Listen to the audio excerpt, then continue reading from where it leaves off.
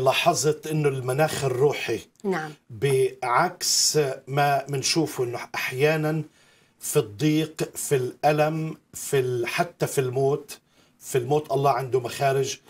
آه، حتى من خلال كل هذه الأمور الصعبة عم بشوف المناخ الروحي بالعراق نعم. مفتوح جدا لدرجة لما كنا نروح نخدم كنا نشوف أعداد كبيرة من الناس اللي ترجع للمسيح. آمين.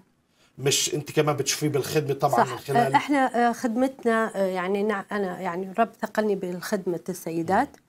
فمن نروح نعمل خدمات للسيدات يعني نعمل لقاءات لل- لل- للسيدة. نقضي وقت مع بعض نرنم ونسبح لإلهنا نقرأ من كلمة الرب ونحكي أمور تخص المرأة. وبالتالي وهي طالعة ممكن نعطيها فد هدية بسيطة. آه، هذه الهدية هي آه، شيء شخصي إلى للمرأة.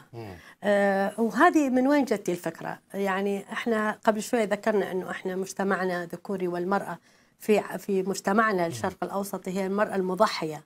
يعني أنا لو جبت أي مبلغ مهما كان قيمته وضعتونه بيد امرأة وقلت له اصرفينه راح تفكر كيف ممكن تصرف شنو أولادها محتاجين؟ شنو زوجها محتاج؟ شنو بيتها محتاج؟ آخر شيء تفكر بينه هي نفسها. و- و- وإذا فكرت ما راح يبقى لها شيء فإحنا من خلال هاي الخدمات اللي نسويها للسيدات نحب نعطي للمرأة شيء شخصي لها نعطيها ال- الأشياء اللي هي يعني تستفاد منها كشخصية. آه، تطلع محملة بها ون- ونقول لها كل ما تشوفين هذه الأشياء تذكري إنه عندك أخوات في مكان آخر دا يصلون من أجلك يحبوك.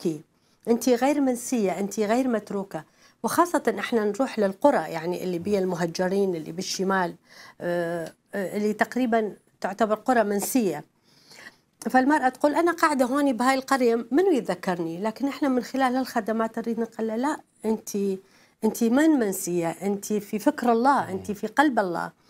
ولما نقضي هذا الوقت مع بعض وناكل آه، لقمة مع بعض وتروح البيت محملة بهدية شخصية إلها آه، ودائما نقول لك كل ما تحسين إنه انت صرتي داون أو تعبتي طلعي على هالأشياء وقولي الله ثقل على ناس إنه يجون من مكانات حتى يقولوا لي إنه الله يحبني فترجع ثقتك في الله من جديد.